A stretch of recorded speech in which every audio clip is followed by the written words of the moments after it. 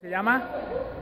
Vosotros colocáis exactamente igual que ellos y tenéis que pasar Pepe llevándolo por encima de la espalda hasta aquí. Y así vamos a hacerlo hasta llegar a medio campo, no hasta el final, en principio.